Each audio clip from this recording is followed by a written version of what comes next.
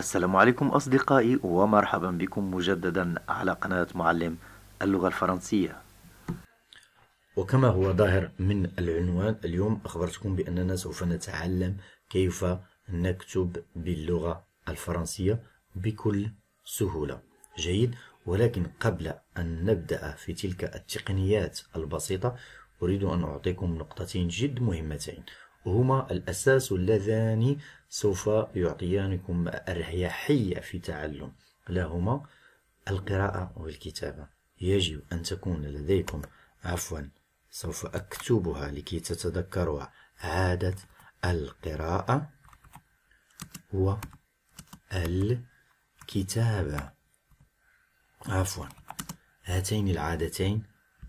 هما الأساس. عادتين سحريتين. لا يمكن أن نستغني عنهما عادة القراءة والكتابة جيد. لأن كيف ذلك؟ يجب أن يصبح لديكم عادة يومية في قراءة الكتب. ابحث عن نوع الكتب الذي يستهويك سواء في الرياضة في الأدب العربي في السياسة كتب تطوير الذات. جيد. باللغة الفرنسية وخذ عادة على الأقل اقرأ صفحة صفحتين في اليوم. جيد. وثانيا يجب أن تتدرب على الكتابة. كل, مر... كل ما أتيحت لك الفرصة. إذا كان يوميا فهذا جيد. خذ دفترا وقلم وحاول تدوين ما يدور برأسك. حتى روتينك اليومي ما قمت به اليوم باللغة الفرنسية. جيد. اكتب هذا باللغة الفرنسية. كل ما قمت به أكيد سوف يكون هناك أخطاء كثيرة ولكن لا يهم بعد أن تنتهي من الكتابة اذهب وابحث عن آه، في هاتفك عن Google Traduction. يعني آه، محرك البحث جوجل فيه الترجمة. واكتب ذلك وسوف يصحح لك أكيد. جيد. بهاتين العادتين سوف تطورون كثيرا. تقنية الكتابة باللغة الفرنسية بكل سهولة. هل سبق لكم ورأيتم رياضي على مستوى عالي لا يتدرب؟ يستحيل كل رياضي تراه بأنه متفوق جيدا كن متأكد بأنه يتدرب يوميا. لا يمكن أن تقوم بهذا مرة في الأسبوع أو مرة في الخمسة عشر يوم. يوميا. إذا أردت أردتم, أردتم عفوا أن تصلوا إلى مستويات عالية في تعلم الكتابة باللغة الفرنسية يجب أن تكون لديكم هاتين العادتين اليوميتين قراءة الكتب والتمرن على الكتابة جيد. الآن نعود إلى آه عفوا سوف أمحي هذا. سوف نجي نتكلم عن الطريقة التي أخبرتكم. أنا سوف أعطيكم شيء بسيط.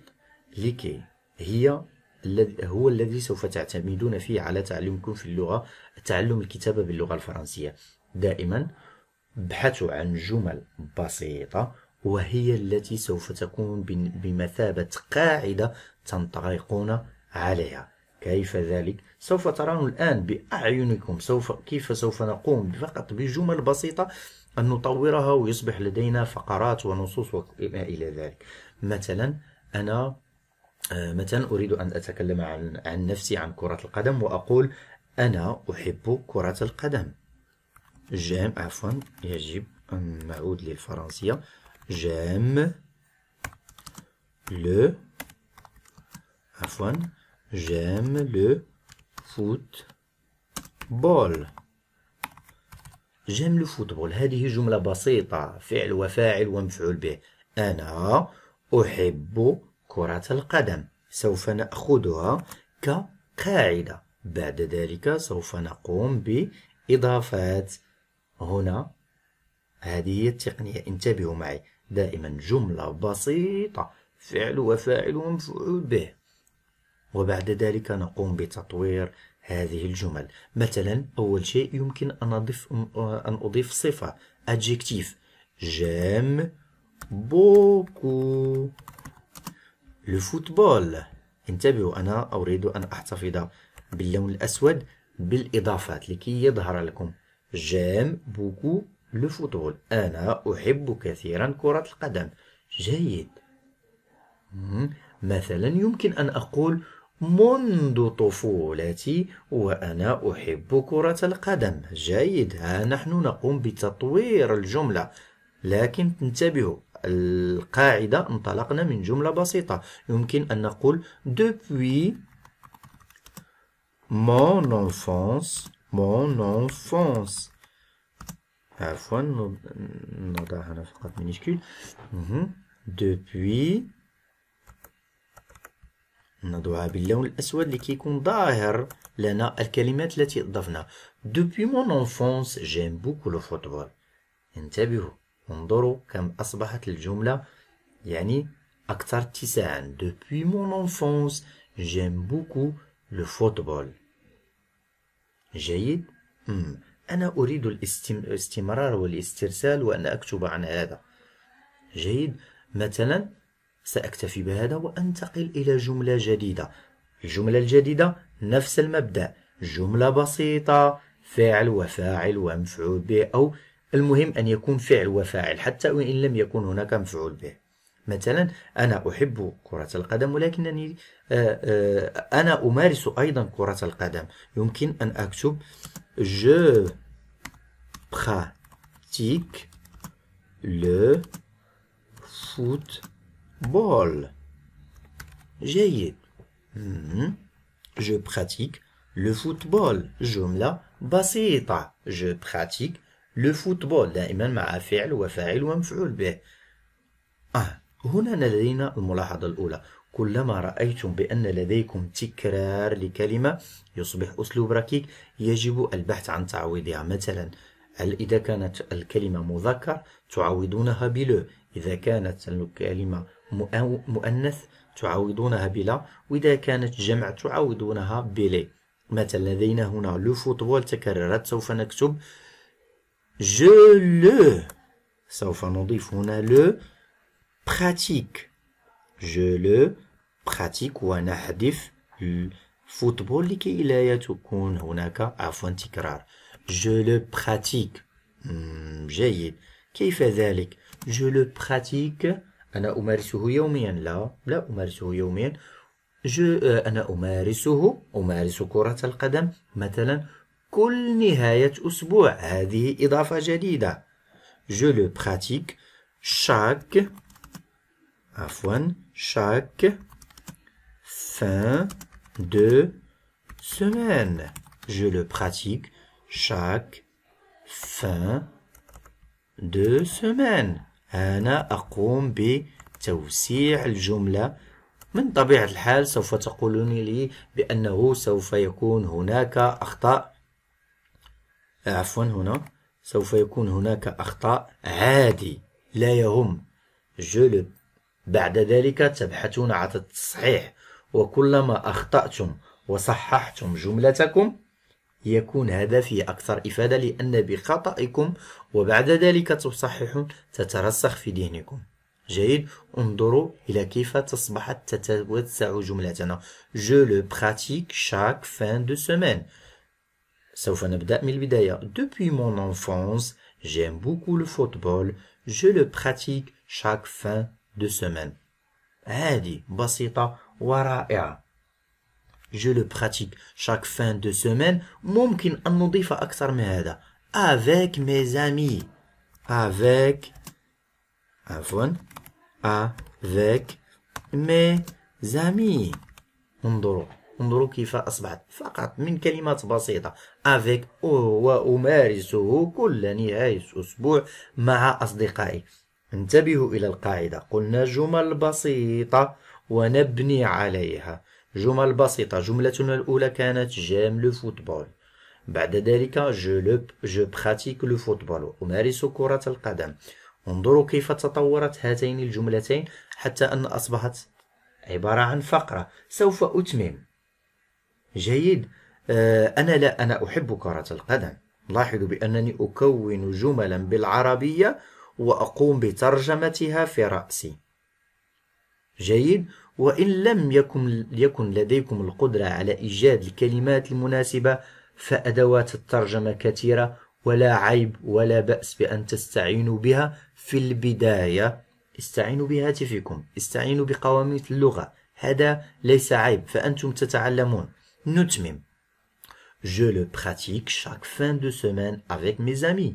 أنا لا أكتفي فقط بأنني أحب وأمارس لكنني أيضا أشاهد أيضا مقابلات كرة القدم. لاحظوا ماذا قلت؟ ولكنني أشاهد. لما لا؟ لما لا نضيف هنا مي je regarde أحب j'aime mais j'aime عفوا j'aime regarder les matchs les matchs les matchs de football هذه هي الجملة mais j'aime regarder les matchs de football جملة بسيطة. ولكن أحب مشاهدة مباريات كرة القدم. جيد؟ قلنا هنا الجملة البسيطة التي كانت لدينا الثالثة هي j'aime regarder les matchs de football إذن هاد mais c'est un connecteur أضفناه. سوف نعتبره كإضافة. J'aime regarder les matchs de football جيد؟ هذه هي الجملة الثالثة. ماذا يمكن أن أن نضيف أيضا؟ ممكن أن نقول هذه الجملة الثالثة وهي التي سوف تكون قاعدة. ويمكن أن نقول mais j'aime regarder les matchs de football chez moi. Chez moi. ماذا avec mes enfants. انظروا انظروا كيف تطورت الجملة. كل مرة أضيف كلمات جديدة جملتي أو آه هذا النص الذي أكتبه يتطور. انظروا كم هي الإضافات. الجملة الأولى كانت j'aime le football الثانية كانت je pratique le football الثالثة كانت j'aime. regarder les matchs de football جيد. ولكن مع الإضافات أصبح فقط من ثلاث جمل. إذا قمنا بعد الكلمات آه، آه، كلمات الجمل الأساسية لدينا j'aime واحد le football آه، اثنان je pratique عفوا عفوا je pratique ثلاثة j'aime أربعة regarder خمسة les matchs ستة de football سبعة. يعني في الأصل كان لدينا ثلاث جمل أساسية بسيطة تتكون من سبع كلمات. بعد ذلك أصبحت لدينا فقرة كم بها من كلمة؟ واحد اثنان ثلاثة أربعة خمسة ستة سبعة ثمانية تسعة عشر إحدى عشر اثنا عشر ثلاثة عشر أربعة عشر خمسة عشر ستة عشر سبعة عشر ثمانية عشر تسعة عشر عشرون واحد وعشرون اثنان وعشرون ثلاثة وعشرون أربعة وعشرون خمسة وعشرون ستة وعشرون. آه أو سبعة وعشرون. نعم نسيت لم أحسب. دو. سبعة وعشرون. لاحظتم الفرق؟ كان لدينا ثلاث جمل مكونة من سبعة كلمات. أصبح لدينا فقرة مكونة من سبعة وعشرون كلمة فقط بالطريقة التي هي. أضع جمل بسيطة وأبني عليها. انظروا. إلى ما وصلنا إليه. يمكن أن نستمر هكذا إلى غاية نهاية النهار ولن نتوقف. فقط جمل بسيطة وأبني عليها. جمل بسيطة وأبني عليها. قد يكون لديكم أخطاء في الإملاء لوغتوغراف آه، في تصريف الأفعال. لا يهم. بعدما تصححوا آه، اذهبوا وابحثوا عن أخطائكم ودونوا هذا. ومرة على مرة على مرة سوف تترسخ في ذهنكم كونوا متأكدين. كونوا متأكدين بأن هذه الطريقة جد جد فعالة. في البداية قلنا عادة يومية للقراءة صفحة أو حتى صفحتين في اليوم. لا بأس كبداية. وعادة التدرب على الكتابة. ابحث اكتب عن ما تقوم به كل يوم. ابحث عن موضوع تحبه واكتب عنه. أنا أيضا لم أشير إلى نقطة. هنا أخذت أنا شيء عادي وكتبت عنه. تخيلوا معي لو كان لديكم موضوع مضبوط. لديك هناك موضوع مضبوط تريد أن تكتب عنه. ذلك الموضوع يعني في لديك أفكار. دون تلك الأفكار باللغة العربية. في جمل. الجملة الفكرة الأولى جملة بالعربية. الفكرة الثانية جملة. الفكرة الثالثة جملة. الفكرة الرابعة جملة. جميع الأفكار ذلك الموضوع اكتبها في البداية باللغة العربية.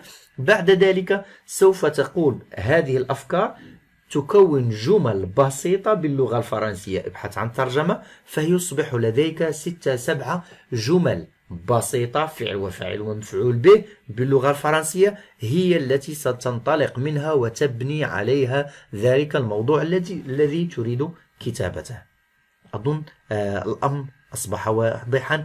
يلزم فقط التطبيق والمداومة على هذا. لا أظن بأنكم إن فعلتم هذا أن مستواكم لن يتقدم. أنا متأكد بأنكم سوف تتقدمون. هكذا أصدقائي نكون قد وصلنا إلى نهاية درس اليوم. أتمنى أن تكونوا فعلا قد استفدتم منه. دائما وسيلة شكركم الوحيدة لي هي أن تدعوا like like like ومن طبيعة الحال لا تنسوا تقاسم رابط الدرس مع أصدقائكم لكي تعم الفائدة. دمتم في رعاية الله وإلى اللقاء.